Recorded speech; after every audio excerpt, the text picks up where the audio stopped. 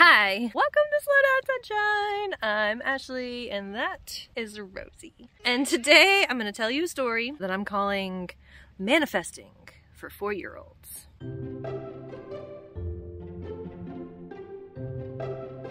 So, I hate to burst your bubble. You are not going to find all of your manifesting answers in this video because I am not a manifesting expert. But I have learned a very important lesson through my daughter.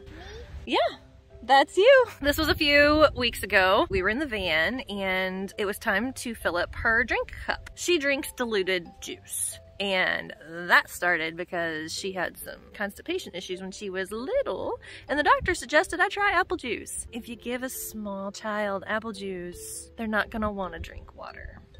I drink water. She drinks water sometimes, not a whole lot, but I dilute it. Anyway, so it was time to fill up her juice cup. We had lemonade. And the lemon have pulp.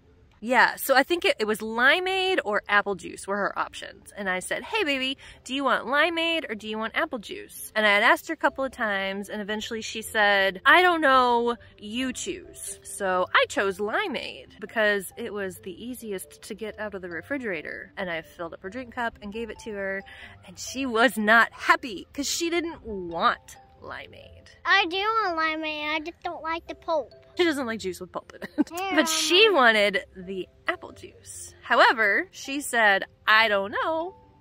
You pick. So I picked. So manifesting lesson for four-year-olds is ask for what you want.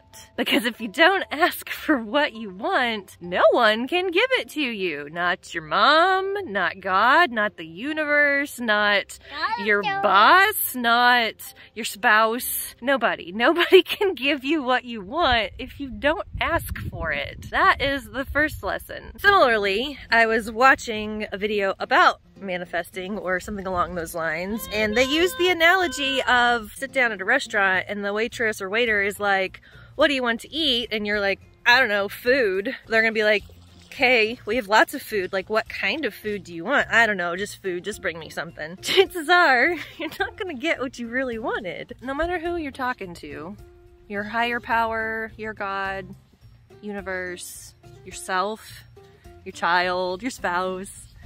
Ask for what you want, and if you don't know what you want, spend a little bit of time digging into that. What is it that you want? It could be a lot of different things, right? From what you want for dinner to what you want out of life. So the other part of that conversation with Rosie that she was not happy about was I explained to her that I can't know what she wants. I can't know what she's thinking about. I can't know what's in her mind unless she tells me. And that was very upsetting to her that I couldn't read her mind. And that made me pause too. How many times do we adults or anybody get upset because someone or something does not do what we want them to, what we feel like they should know we want them to do. Kind of absurd, this human behavior of ours of wanting someone else to like be able to read our mind and be able to deliver on what it is that we want without voicing it. I've been there before. I've been there with um, relationships, with marriages. You know, the whole I shouldn't have to tell him what I want. I shouldn't have to tell him how to treat me with love and things like that. And it's like, well, sometimes you do have to communicate what it is that you desire to get it.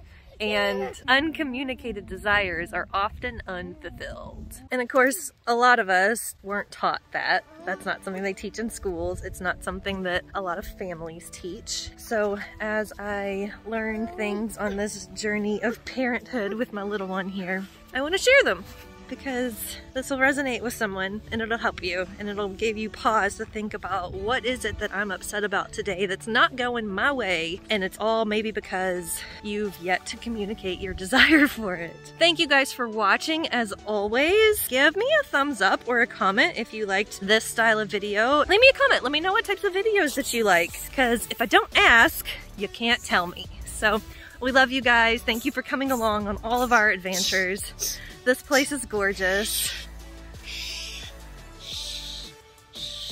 This is Pictured Rocks National Lakeshore. So this is Lake Superior.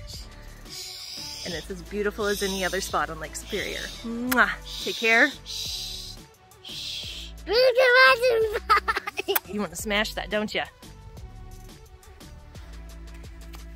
Rosie, smasher of sandcastles.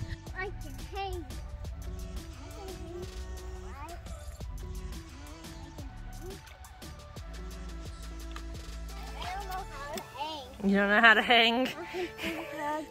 Rosie doesn't know how to hang.